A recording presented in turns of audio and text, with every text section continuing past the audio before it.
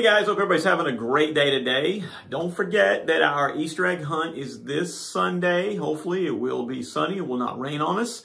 Uh, starting at 2 o'clock. This Sunday, uh, I know the sign over here looks really not good. We did the best we could. We're looking at getting a more permanent, uh, portable sign that we can use for different kind of things that we do. But anyway, today I want to read a verse of scripture to you from the Gospel of Matthew, chapter 28, verses 19 and 20.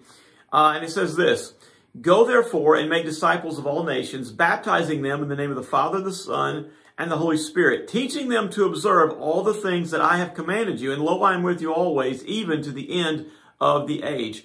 Now, a lot of times we as Christians, we think that we're doing good. We're, we're, we're in God's plan. We're in His will. If we just are avoiding sin as best we can. And trust me, that's a great thing.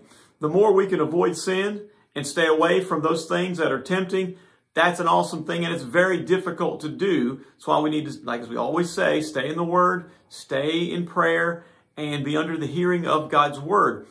But it's not just that. It's also doing what Christ commands us to do. You know, a lot of people will come up to me and they'll say, Jimmy, I'm just not um, an A-type personality, or, you know, I'm just kind of shy, and so therefore I just gonna leave that for the pastor and for you and for other folks um, in leadership at the church to do.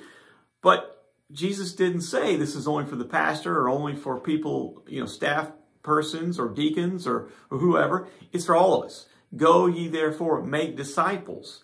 Uh, and it says, goes on, teaching them to observe all that I have commanded you. Now he's talking to his disciples, but he's giving them the command to go right before he leaves, before they have even received the Holy Spirit. And what he expects them to do. It's what he also expects us to do as well. So if you haven't, especially this time of year, we're getting ready to celebrate Easter. Uh, next week is Easter week.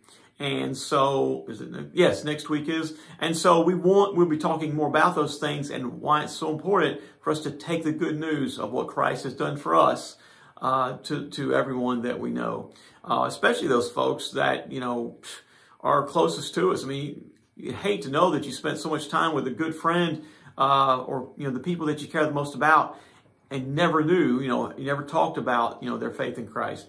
Anyway, guys, I hope this helps. I hope you have a great day. I will talk to you tomorrow. Bye.